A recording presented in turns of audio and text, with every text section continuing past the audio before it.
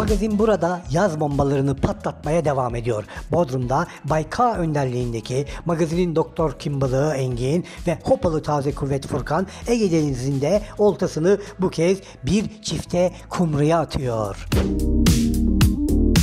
Biri Çakırgillerden Murat Çakır hatırladınız değil mi? Süleyman Çakır'ın oğlu ve hanımefendi milli basketbolcu boyu posu maşallah 1.83'lük dev bir pota sultanı.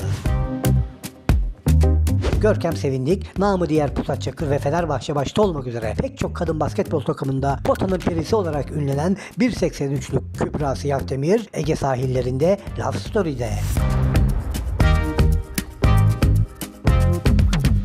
Süper lüks bir teknedeler. Tekne için biz diyelim 5 milyon dolar, siz deyin 5.100 bin dolar. Yani gençlerde para var. Kendilerine mi ait bilemiyoruz. Belki kira, belki bir eşin dostun teknesi. Neyse mühim olan o değil zaten. Mühim olan şu saniyelerde Ege'de romantizm. Teknenin kıç kısmındalar. Tavla oynayarak tavlıyor Görkem Sevindik hanımefendiyi belli ki. Ne diyordu Mirkelem şarkısında? Tavla, tavla beni tavla, tavla Görkem kızı tavla. Tavla maçını kaybedecek olan kendini biraz sonra soğuk sulara bırakacak ve kaybeden işte belli oldu sevgili seyirciler. Görkem namı diğer pusat kaybetti. Hanımefendiye gitti, sarıldı, helalleşti. Suya dalacak biraz sonra. Eee buz gibi sulara dalıp da dönmemek var. Bir daha hiç dönmeyecekmiş gibi uzun uzun sarıldı hanımefendiye pusat. Öptü, öptü, öptü.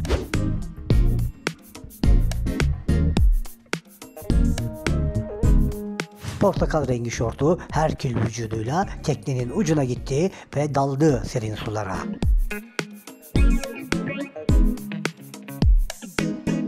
Yalandan iki kulaç attı, bir ileri iki geri yaptı, tekneye çıktı, duşunu aldı. Bu sırada milli basketbolcu Kübra hayranlıkla izliyor herkül vücutlu aşkını. 45 saniye oldu görüşmeyeli ama çok özlemişler birbirlerini. Islak ıslak bir öpücük daha konduruyor Görkem Kübras'la.